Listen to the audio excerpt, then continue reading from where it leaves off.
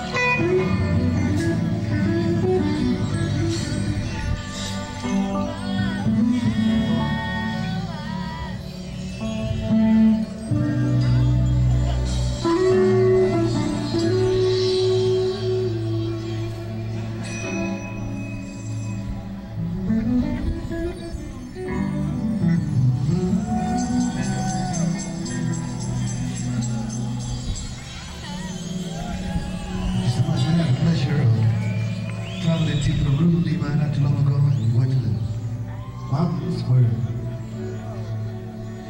they see flying saucers, a lot over there, as much as you see yellow caps in New York.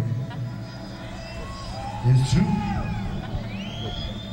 Today, more than ever, sisters and brothers all over the world, they get to see strange phenomena.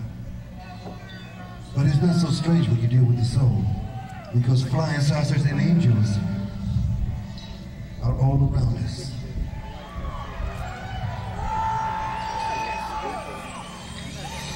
They're checking us out. I'll say it again.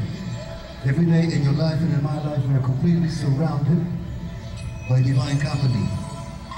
Angels. Flying saucers. UFOs.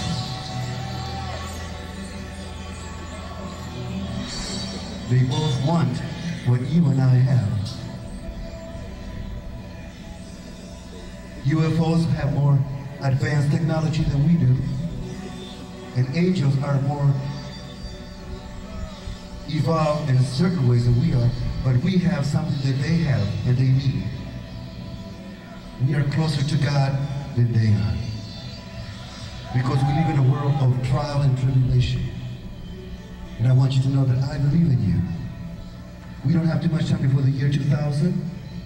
And we as people will enter into harmonious convergence. No more flags, no more borders, no more wallets, no more violence, no more injustice, no more racism. That is the truth.